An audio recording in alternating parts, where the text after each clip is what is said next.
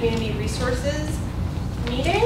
Um, And uh, we are being audio and video recorded. Um, So Laura, would you please call the roll? Sure. Um, Counselor Sciarra, Here. Counselor Bidwell, Here. Counselor Nash, Here. and Counselor Klein. Counselor Klein is uh, not here um, with excuse. So, um, That's not walking Unless the person on the mayor's phone wants public comment, I don't see anyone here for public comment, so we're gonna skip past that. And um, is there a motion for the minutes from June 18th? I'll make a motion. To Any accept the particular kind of motion? You're moving to approve these minutes? Yes, I will And- move to approve the And I will second that motion. Um, Any discussion on the minutes? No? Um, So all those in favor of approving the minutes, please say Aye. aye. Aye. No objections, no abstentions? Um, so the two bits of business that we have on our agenda are, um, uh, update hopefully from Mayor Narkewicz on the casino marketing study, or just sort of filling us in, if you would, and, um, and from Mr. Masterson, um, some downtown economic indicator numbers or conversation about that. So whichever order. you And, and what I may do is just give you a quick introduction, and then Terry's actually been sort of staffing the, Okay. the committee, uh, or the, what are we calling it? Sort of the advisory group, or whatever it was. Um, This is on the study, so we, we, um, we got the go-ahead from the gaming commission with a hundred thousand dollar grant. Um, We have a committee, a small, or I have a small advisory committee that's been helping us to um, uh, first develop the RFP uh, to hire a firm to do the marketing study, uh, which is kind of the basis. The basis of the application was, we are going to be potentially impacted economically um, because of our, you know, tourism and our restaurants and our retail and arts and culture and concerts, and so we need to be prepared, so we're gonna, you know, hire a professional to help us develop a marketing plan, and then we're gonna use some of the money to pay for that, and then the remainder of it we'll use as seed money to hopefully implement the plan. So, um, the committee, uh, uh, we did an RFP process, they interviewed people, we ended up hiring um, Rhyme Digital, which is out of Easthampton, Massachusetts. It's Rhyme, just like you would think it's Rhyme. And um, uh, they were very impressive, and, uh, the- and so they have come on board. Um, And now they have been doing um, uh, an an entire process of going through data, um, meeting with stakeholders. Uh, They're about to meet with the committee again. And so I'll let Terry turn it over in terms of what Rhyme's looking at. Obviously, we haven't, the plan's supposed to be completed in late August? Okay, so I'm going to turn it over to Terry because he's been actually staffing the meetings and working directly as Rhyme's uh, contact point for the city. Thank you, Mr. Mayor. Um, Rhyme Digital is um, working, as the mayor had pointed out, on pulling together a marketing plan. Um, It started, they started, he started to work in May. Um, We um, had some focus group meetings in mid-June. May was also a month in which um, Blair worked on data collection and reaching out to key stakeholders in the city, which we helped him with. Um, And then as we got out of May and went into June, we had two focus group sessions um, in one day in which we had about, mm, I'd say, maybe 14 people come, um, in which Blair presented a number of initial findings um, to the participants um, and also had a, had a conversation um, about what those stakeholders felt about where downtown is.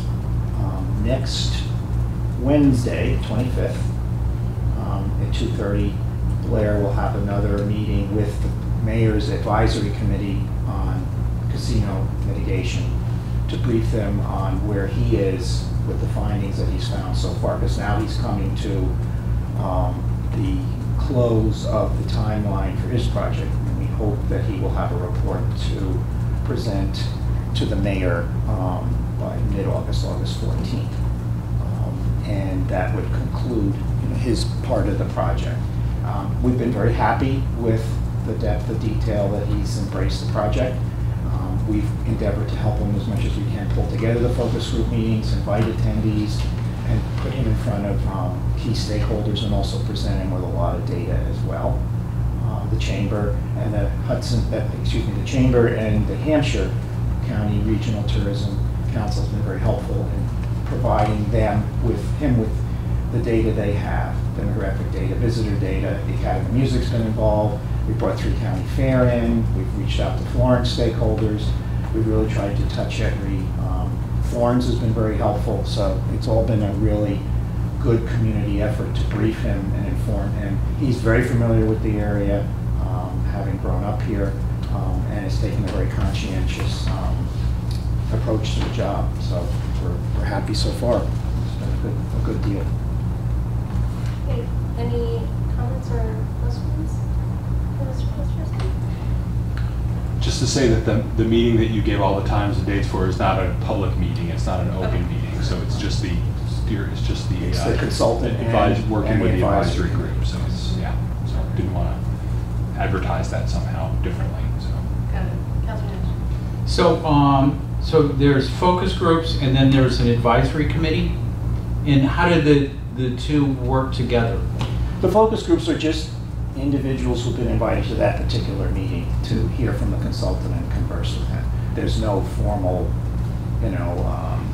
I'm just making sure they're two different They are, things. and they- the focus groups are just individuals such as Rich Matowitz or Jody Dole, who come to that particular meeting, Pat Goggins, and Right. have an opportunity to hear what's going on and offer their opinions. Um, But they're not a member of the advisory committee, and they don't play any standing role, you know, going forward. So the focus groups are also stakeholders, you would say? Yes. As opposed to sort of a random sample? So, um, uh, the owner of 25, um, the store in Thornes, um, she's, we've invited her. She's been very, very good. Um, Chris, Chris, um, uh, and escapes me, I'm bad when I'm standing up. Um, Kathy Cross um, has participated. Um, It's been a a good amount of people, good number of people. Yes. So, so is the, is the, is the mission of, of, of- or the, the purpose of this study to form the basis for, uh, uh, the development of a marketing plan that would go forward, or will, what, what do you expect to be the end product of this report that's delivered to the, to the mayor? a marketing plan. The, the deliverable is kind of the marketing plan. And, um, and then we're supposed to then figure out how and who would implement it. Um, So I think that's the, the general deliverable, yeah. And the remainder of that hundred thousand dollars will go to implementing that? It could, yes. It probably won't be enough, but it would be at least some seed money for that. Um, So for example, if we decided we, you know, one of the recommendations was we should create a, a better, or, a, you know, a website for Visit Northampton, you know, dot com or something, know, something like that, then that could potentially help fund that piece of it. Um, Or uh, other things like that. So, um, but, but the first step was to develop some kind of a plan um, and kind of a roadmap for what we should be focusing on and who our target audiences are and what are the, what are the possible, you know, ways we should be doing it, whether it's through online or whether it's through billboards or whether it's through social media or through, you know, whatever it is. Um, I think that's, that's our hope is what the product would be. One of the um, interesting um, uh, events to watch will be on the 19th of July, when the Casino Commission meets and is on the agenda, the agenda's not posted yet, the casino will present their marketing. MGM will. And it'll be on their website if you want to watch it. Public can watch it on the live video stream. And MGA will be presenting their marketing plan, and that'll be something that our consultant will be looking at as well. I feel like it's a little bit late for them to be presenting that. They've kept it pretty close to the vest. I'm sure they've had one for Yeah. a while, and I think they're holding off and, you know, um, but that's, they're required to try to present that. So we'll be interested to see how they're marketing in our market and through, and Right. broader and, yeah, so. And do you think that'll be clear from, I mean, what level of detail do they need, are they required to go into, do you know? I don't actually know. Yeah. I don't actually know. But I mean, I know that they're, part of this gaming is supposed to be economic development and, and tourism, and it's supposed to be, you know, a regional attraction. So, um, so, uh, and again, I'm not sure how much proprietary information they'll share, but they are gonna be sharing something, so, um, yeah. So, so is the, is the, is the hope, is it more to minimize the loss of customers from existing Northampton restaurants and entertainment? Or is it to attract some small portion of the seven or eight million a year that are expected to come to the casino? Yes, the answer is yes. Okay, so- Um, I mean, the way we framed the application was, you know, we had a study that showed that the casino could have that impact on us, you know, know, the percentages and the dollar amount and, you know, the things that the Camoin study pointed out. And so, and we tried to get mitigation just for that alone, and we were turned down as a surrounding community. So this was an opportunity to say, okay, we'll be proactive and we want to go after, we want to make sure that those visitors, those new potential visitors to the region know about Northampton. And, you know, know that if they're gonna, if they're gonna come to the casino, why not come stay in a, in a cool, funky, real Right. downtown? You want authenticity Not at Disney World? Yeah, not Disney World. You know, obviously, we're not gonna be doing it that way, but we'll, but again, I think it's important, because a lot of our customer base is north-south, you know, it's, it's from the south. That's like a key area that we draw from.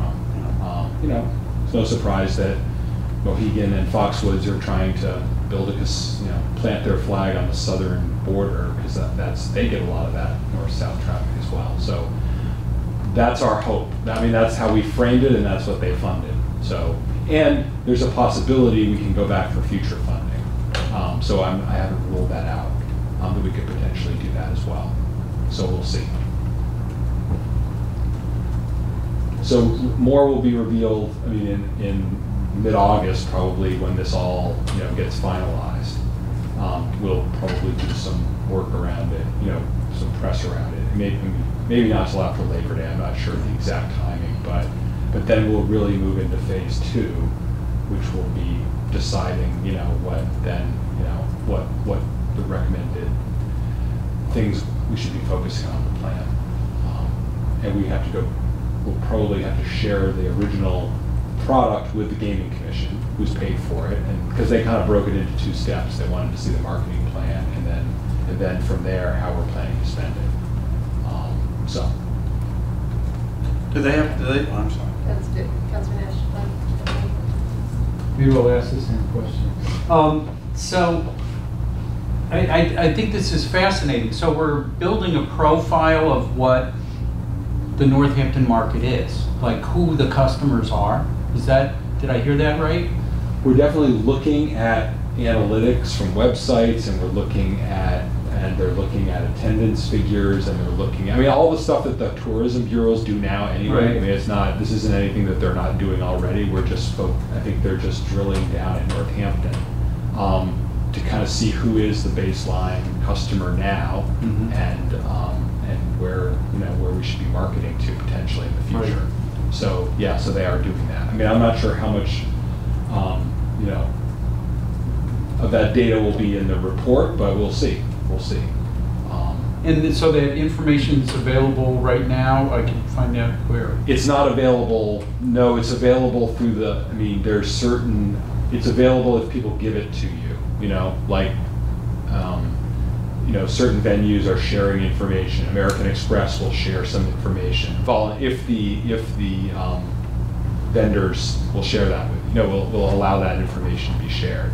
Um, I don't know where the Tourism Bureau gets their stuff from, um, but, um, but it's available through them. And so they're sharing. I I think it would just be really interesting Yeah. in terms of us discussing our downtown. Yeah. If we have a profile of who our customers Yeah. are, Well, hopefully then we that'll- start yeah. talking about it in terms of, you Yeah. know, here's the people who come here and spend money. Yep. You know, I- I think- that's the target I think you'll see some of that with what Blair comes Yeah. up with. And, and one of the reasons why Blair at Rhyme is also interested in seeing the casino marketing plan is he wants to see who are they going to advertising to. Because he's already trying to figure out what is the profile of a casino visitor. And he's told us that certain age groups just don't gamble, where other age groups do. So there's different def- demographics that will be coming to the casino, and that will drive what they advertise. He also pointed out in one of the meetings that the, their, their ability to recruit retailers is also gonna be governed by what kind of audience they want to have come to the casino, or will be coming to the casino, so. So, I- so I think a lot of that'll be, be, you'll, you'll see some of it in, in his reporting. And they're Cool. definitely trying to make it a, you know, a- I mean, they're definitely, they're building a movie theater. Um, I was on a tour, they, I was on a tour of the casino like three weeks ago. And they're definitely trying to make it like family friendly, bring your kids, go to the movies, you know, while mom and dad gamble away the farm. You can go watch the movies. Uh, and it's definitely gear, you know, so they're definitely, and you know, Stevie Wonder is going to be the opening night uh, entertainment, and they're already planning some other surprise entertainment as well. Stevie Yeah, Wonder? Stevie Wonder will be the opening night entertainment. So this is again what we said, like you know, they're the largest um, you know entertainment company on the planet, so they can get Stevie Wonder to come to their grand opening. Um, you know, so that so I mean that's going to be what we're up against, and they are going to start to slowly. Um, you know, I don't know how broadly this got out there, but, you know, we were, um, the, the, um, you know, Look Park has for the past several years had Aaron Lewis, um, you know, who's a local Western Mass guy. He was in the band Staind. And um, I'm on the board of trustees of Look Park, and he's been doing these concerts. He's had one year where he didn't do it, he was going through some personal issues. But anyway, this year he suddenly backed out of the show. They didn't commit to any dates. They hadn't advertised any dates, um, and he um, and, and he just for whatever reason his management company said, yeah, we're we're, we're going to take a pass on this year. We're going to do it. Well, lo and behold, um, MGM has booked Aaron Lewis to play at Symphony Hall um, late this fall. So um, whether it's a coincidence, I don't know, but that's a tangible example of a concert that had been happening at Look Park that's now happening because of MGM. And you can be sure that MGM can offer way more, you know, you can have the penthouse suite and you can have free food and you'll have, you know, whatever, you know, we're paying higher rate and, you know, whatever it is, I'm sure they can offer that. Because they don't need to make money on the concert, you know, they need to get bodies into the casino to, to gamble. So, so that's like a small already example of stuff that's hap, that we've seen. How Is much. he the person who has an education foundation? He does, and he, he does like a camp or Right. something in the hill towns. And so he's always done this as a benefit concert. And, um, but obviously concerts, you know, the concert business is, you know, stars aren't gonna play, you know, the same time in a two-month period in the same region. So, um, so yeah, so that one, uh, so that got canceled. They have been able to book some other shows luckily, but, you know, that was a, it's a, something that they had been planning in their budget, that, you know, the Aaron Lewis show is gonna bring in a number of guests and alcohol sales and all that kind of stuff, so, yeah. Um, Okay. Councilor Baker? Uh, I was just curious, i- i- has the involved in cooperation among Chamber and DNA and Visitors Bureau, is, is everybody kind of on the same page about all this? I, I think so, yeah. I think there were some, I know you were at a meeting where there were some questions about the data collection or Right, something, and. I know that there was some delay in getting some of the data, getting access to some of the data. Um, but I think that that's been solved Yeah. at this point, and all the data's been made available to him.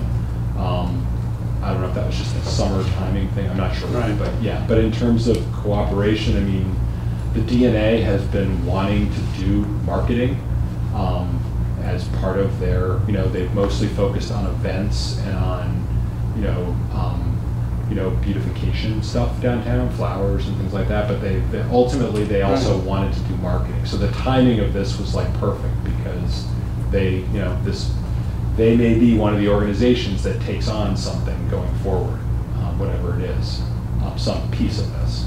So the marketing plan in theory is pretty comprehensive. It's DNA concentrates on this, chamber concentrates I don't know this. that, I'm not sure if he's gonna assign things like that, I'm not No, sure. not so much assigned, but Yeah. suggest how the different parties Potentially, should yeah. work in cooperation with one another instead of Yeah. there being three duplicative websites. Totally, I think, I think that's gonna be the key, is that we are gonna have to all work together on it. Um, You know, we've got the Paradise Cultural Arts District, Right. and so there's a lot of different factors here.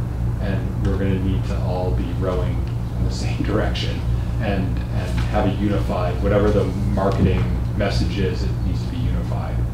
Um, And again, I don't think we're looking for, like, I don't know that we're looking, this isn't gonna be like a slogan or like a West Mass or, you know, any of those kind of things. That's not what we're looking for. I think it's, it's more, um, it's different than that. It wasn't just like, give us a logo, and a Right. Slogan, and we'll just keep saying it a million times. Um, So it's, I think it's gonna be a little more deeper than that. But is there some branding element to it? I'm not sure. The, um, consensus of the, the, um, focus groups was that that's something that should be looked at, um, in terms of what's the messaging, what's the brand. And, so the consultant is going to, you know, factor that in, um, to what he recommends in the report. But likely that would involve, you know, then that would be an action step as part of the report, not, we're not paying him enough to do that Yeah, himself. right. Exactly. Yeah. Um, But they do, they do do those things. Ron does, does those things. One of the interesting things I think he's gonna be able to deliver to us is, with the budget that we have, is to tell us where, who we need to advertise and market to, and in what ways to fit the budget that we have. And he's certainly gonna opine on some of the other topics, but it's gonna be good to know, like you're saying, who, who goes to a casino? Who's gonna be gambler, who's just there for the food and the entertainment?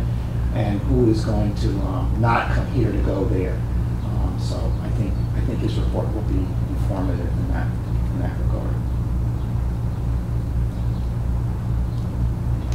Anything else on this topic? Thank you very much. So do you want him to roll into just giving some, some, some stats? We, Yeah. we don't, I just, again, he does, we've been doing the um, indicators on an annual basis, on a year-end basis, so Yeah. we're still in the middle of the year, but I think he's pulled together some stuff mid-year. Um, as of the end of 2017, we had a 6% vacancy rate. We had 14 vacant stores out of 232 stores. We had 17 new arrivals with seven departures, and of the um, occupancies, 14 storefronts were vacant, were reoccupied. Um, So that's consistent with the year before, which was 2016, where the vacancy rate was 6.8%. So far, for mid-year, year-end 2018, um, there's a lot of, some interesting and positive things to talk about. We have two new arrivals. Tim's Books came to 90 King Street um, in winter, early February, March. And then a little bit out of the downtown district is the Anytime Fitness opened up in the, I think it's 24 King Street space. It had been empty a long time, so that was a positive, even though it's worth mentioning, even though it's a little north of the downtown border. Um, Coldwell Banker Upton Massamont opened up offices at 112 Main Street, um, and they are, as a matter of fact, tomorrow morning, the DBC will have their, D- the DNA will have their DBC meeting here tomorrow morning. Um, And then there's six emerging arrivals or expansions to cite. Um, There, the Sixth Strong Avenue, the Kathy Diner space, which has been empty for a long time, is going to be um, hopefully a tea and coffee operation, and it seems to be a substantive project that's involved a lot of interior renovations to the building. And I met with the um, business owner and the owner of the property, and they're pretty committed to also improving the exterior property around the the diner as well. Um, 9 Pearl Street, which is the Gleason's camping space. If you drive by it, you can see there's a huge build-out operation going on in there, and that's going to become a brew pub called Progressions.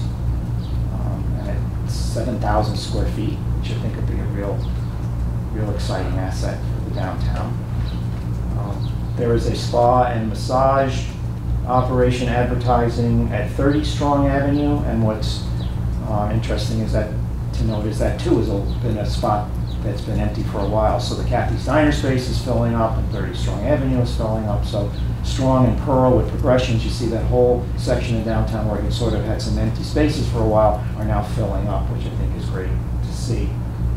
Um, 88 Main Street where Essentials was, um, is now has advertising in the windows for Yokohama Noodle, which will be moving in. I think that's going to be really great as well for, for, for Main Street.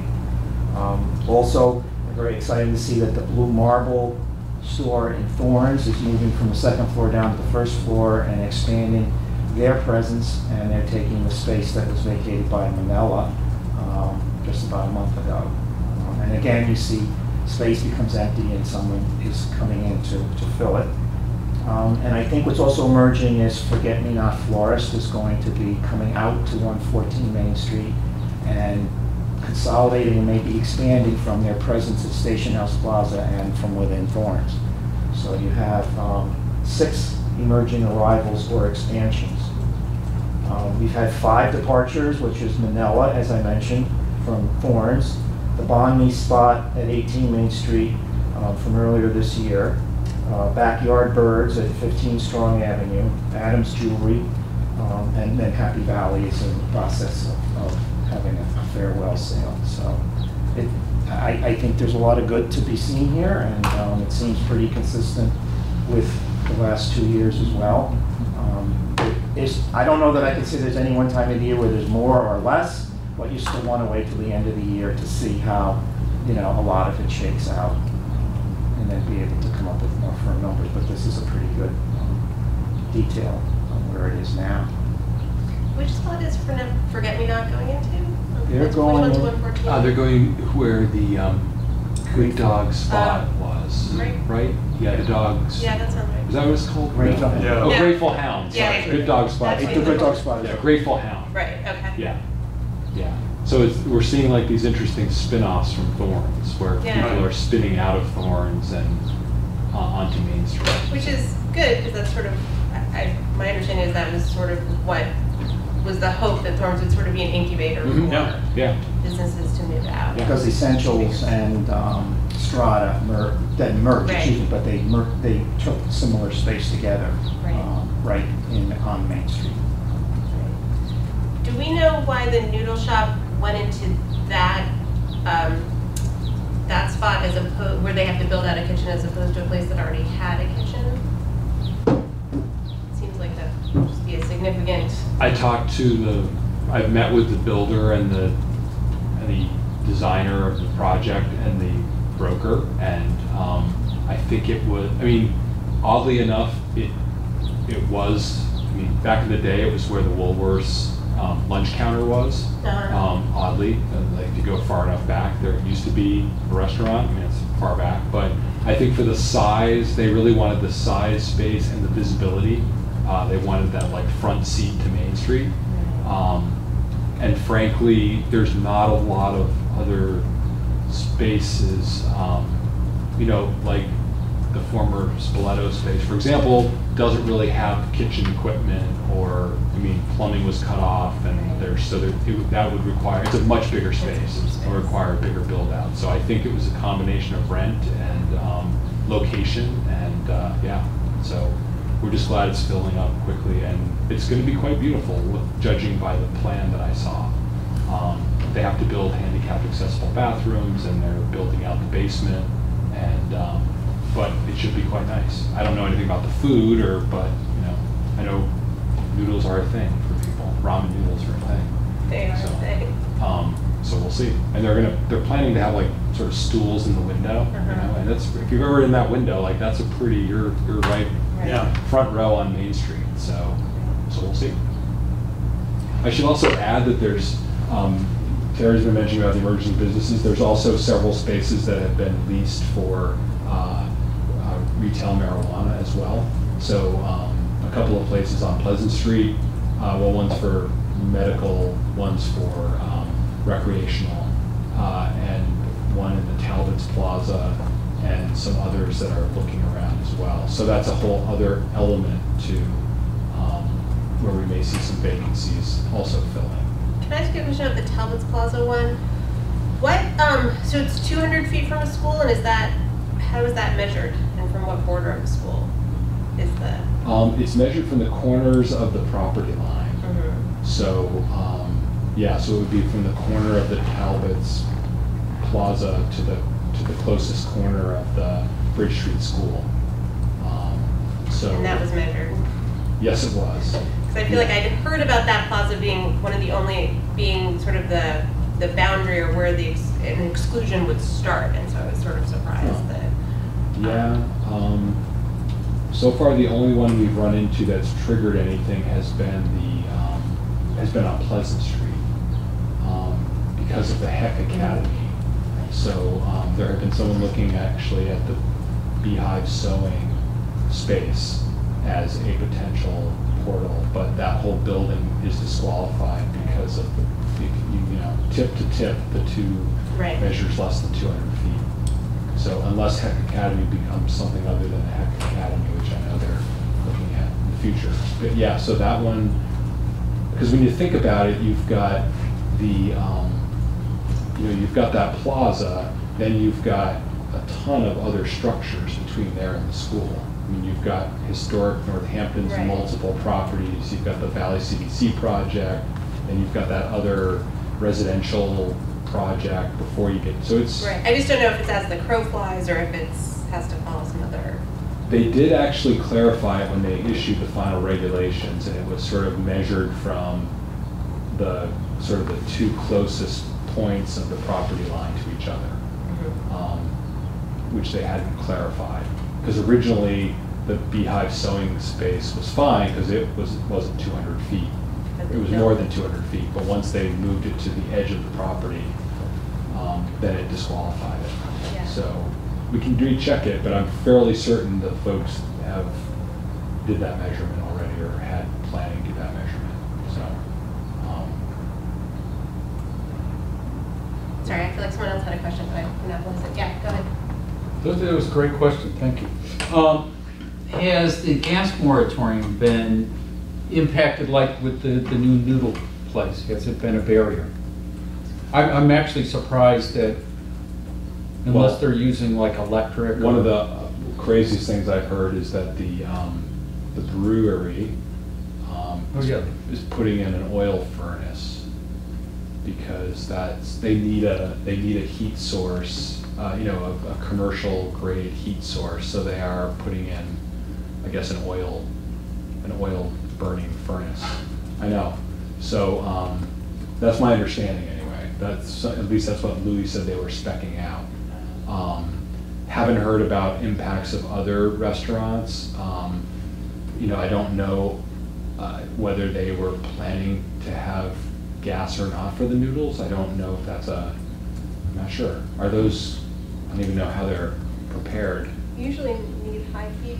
High heat, so I'm assuming they're going with electric, would be my guess. Because I know, I know it impacted that new building up in Florence. There was discussion of a restaurant going in there and. Yeah, And it ran into the moratorium. yes, yes. So um, I, I I think, I mean, most people have been able to work around it with electric, you know, sort of heat pumps and things like that, but for cooking, you know, for commercial grade kitchens, usually gas is preferred. Um, I know we've double checked on a few places to make sure that they haven't taken the meters out, you know, so like, I think there's still a meter at Stilettos, I think I have to recheck that, so there's a still service to that building, because that would again make it really challenging if you didn't have gas for a building that large, so, yeah, so that's, that's the only anecdotal evidence I've heard, has been that one, um, situation with the brew, brew pub. Mhm. Um, And again, I don't know, probably they would have chosen gas, would be my guess, just because that's the most common, sort of mainstream. I So- feel like that alone is a good economic indicator that never, you know, despite No doubt about it. that, Yeah, they still believe it, it makes sense to have a business here. no doubt about it. Yeah, and there's no doubt about it. It's just ironic that they go to oil. Yeah. That's sort of not the direction we're hoping Right, for. it's not the carbon footprint change we're looking for. Exactly, yeah. Um, So, know, there's one other, um, I was also gonna say, we, we did, um, I don't know that, it probably would turn up in the, in the end of year report, but I'm, I know for our, for the last quarter of the fiscal year, um, our hotel and motel were, uh, were up, correct? Um, I forgot what the numbers were, but, um, they were both, both hotel motel and meals taxes were both doing really strong, like above where they were at Q4 last year. So, you know, again, and, uh, and, you know, I guess occupancies, you know, the Clarion's been torn down and we're still doing well. So, so that's another sort of positive sign, I think. Um, The, um, the hotel revenues are up twenty-seven percent since the end of 14, 2014, when the Fairfield Inn opened, and then the At the end of fifteen. So the revenues have just continued to climb, and then the revenues for the winter months, January, February, and March, over last year were also up, and that's usually the lowest part of the year for hotels. Um, So, yeah, it's been very positive. Um, And it shows that occupancy at the Fairfield Inn is very high, and um, room rates are also very healthy, which is also a good sign that there's a demand to meet those room rate numbers. So, yeah, it's, um, Councilor Nash, did you say? Yeah, and, uh, so in terms of these, these rental properties that, um, I'm trying to think how to phrase this. There's property owners that we are hoping will rent more properties, if you know what I'm saying. It Has, these, these property, these, where these new businesses are going in. Um, So Mr. Mr. Short, a number, we're hoping that he rents more of his downtown properties. Are some of these properties his? Um, I can tell you that um, two of them that are involved in cannabis are his. Okay. Um, And I can tell, you so, um, and yeah, so uh, two of them are, and I know that he also has some, there's also some final negotiations on the grub space on Pleasant Street as well, around Great. another tenant moving in there. So interestingly, yeah, the, the, um, the new cannabis industry has, and he also owns the Talbot space, that's his, I mean, he owns the Talbot. What's that? I didn't realize it was. Yeah, Eric owns the Talbot Plaza. Um, so that's one of his. Um, the Marinello Beauty Supply, is that, that's his? yes. Yes. So where the, or Marinello Beauty School is, that's Right. his property. Um, and, um, and then I mentioned Grub, which is not marijuana, but so at least two of those. And there was other, um, you know, they were also looking at his space, um, behind Urban Outfitters, because he's got some office and stuff back there. But, but at least two of those, um, are his property, at least three of his properties are, are, um, you know, sort of in play right now. That's great. Yeah. So again, you know, they have a lease there, but they still have to get a license, et cetera, et cetera, et cetera. Um, So, Glad we could change our economy to suit his needs. um, yeah, um, good question. Yeah, good question. Uh, I, I know that the Spoleto space, um, continues to be one that there's been focus on and people looking at. Um, It's just a really, it's a large space and it needs a serious build out, so I think it's just really, um, and the rent is, even though the rent has come down, um, it's still, you know, it's a, it's a, it's a big operation. So, um, there've definitely been people talking about it, uh, and in negotiations, but nothing yet, so. when you look at that block, though, in the last year, you've had the Tassery Lennox open up, and it seems to be doing really great. And you had a new investor buy 32 Main Street, which is just down the block, where Theory Skateboard went, and that investor upgraded the two or three apartments above Theory Skateboard. And then, it's not reflected here, but it'll, will be later on, is that there's new owners of Veracruzana across the street. So when you look around some of his properties, you can see that there's good things happening, and you need to look at the overall picture of what's, you know, going on. The art galleries that are on that section of Main Street are still there. So it's, it's, to me, um, you know, it's, it's, totality is all very good for the downtown. And, you know, we, we hope that his properties do get full, and we're willing to help him any way that we can, but it's still, you know, a certain percentage of the total picture. Where the rest of it, I think, is very positive. But no doubt, his are definitely the longer-term vacancies. I mean, most of the other properties are, as soon as there's a vacancy, there's people waiting to move in. Um, And I think that's just a philosophy of him, of, you know, his philosophy. Some of the other landlords, you know, they wanted to get somebody back in, like the- the essential space. Um, But that's owned by, I guess, an investment group in Springfield, and so they wanted a tenant in there right away, so. um, And he's sort of a longer-term investor, I guess, way to describe it, so, yeah. Yeah, I had a question about the vacancies too. It's actually a- an an arts question. I know there have been conversations off and on about, uh, I assume involving the Arts Council at some point, uh, approaching uh, owners of long-term vacant space about temporary pop-up type of Mhm. art installations in the front windows. Is there any, any more recent conversations about any of that? Some, some, some cities, it- of course, it depends on a cooperative landlord, but Yeah. I've seen play, I've seen that happen, and Yeah, and, and I know that, um, I know that there was one, uh, during the first night, um, the Arts Council did a pop-up in one of the spaces. I wanna say, I mean, it was sort of in the neighborhood of, I don't know, it might have been Hemp, it might have been or what, whatever was in there before Hempest, but they, they had done one like pop-up thing. So I remember it was like, um, like rock and roll bands or something, um, and they did a whole, they did a whole exhibit. in- So I mean, I know that they've done it. Um, again, I think it's the, people say that, but then when it comes time to like, is the landlord gonna let you do it? Um, uh, Again, that doesn't seem to, if you've been by the windows of, um, those prop, that property, it tends to be advertising for Iron Horse Entertainment Group. Um, So, uh, yeah, it's an ongoing issue about trying to involve um, Mr. Suher more into the downtown arts culture life, so, yeah. But you're right, and and I know Springfield does pop-ups in the, in the, um, Springfield has done pop-ups in the, in the holiday season, and has actually invited Northampton stores to go down and do pop-ups down there, so, um, but, yeah.